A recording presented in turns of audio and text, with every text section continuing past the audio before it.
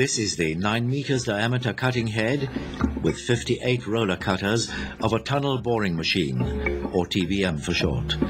This animated sequence shows how the so-called gripper functions. The automated gripper presses against the rock at the sides. The rotating cutting head is pressed against the tunnel face with a force of 26 tons. And under that pressure, each roller cutter chips the solid rock away. The broken rock falls onto a bucket wheel and is then transferred onto a conveyor belt behind the cutting head. While boring goes on, securing work is carried out under the protective roof immediately behind the cutting head. Here, for example, two anchor drills with independently maneuverable drilling carriages are being used. They are drilling holes into a rock for anchors which can be up to 4 meters long.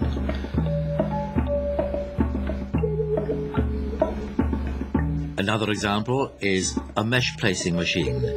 This travels over the anchor drill and places steel mesh behind the protective roof to give protection against falling rock. Which securing measures are most effective against rock falls depends on the local geology. In one place, steel anchors are best, whereas in another it may be steel mesh, caps or arches. Another means of securing are steel arch segments.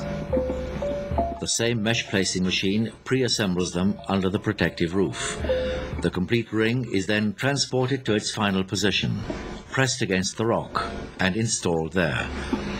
It would now also be possible to secure with concrete, but we'll come back to that later. When the TBM is working in hard rock, it uses a so-called gripper to press against the rock on both sides.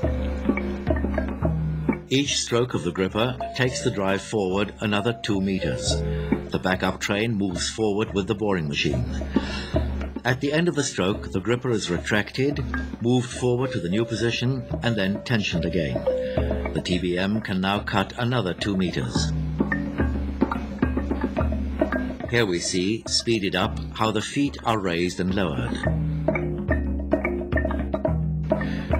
When the second and fourth foot are raised, the backup train moves forward. When the first and third foot are raised, the cutting head drives forward. Here we see the view from above. The hydraulic mechanism releases the gripper for it to move forward. Then it is tensioned again for further boring. The TBM can drive up to 40 meters per day. Hydraulic cylinders control the horizontal and vertical position of the cutting head. This makes it possible for the TBM driver to steer the direction at all times. The shotcrete robot now finally secures the finished tunnel walls. From the boring head to here is a distance of 60 meters. Backup train consists of all the installations and materials needed to supply the boring machine and remove the excavated rock. It is like a moving factory, 410 meters long, which is about as long as four football pitches joined end to end.